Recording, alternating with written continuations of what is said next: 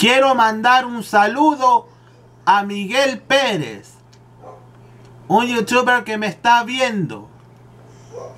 Amigo Miguel Pérez, este saludo y este abrazo cariñoso va para ti.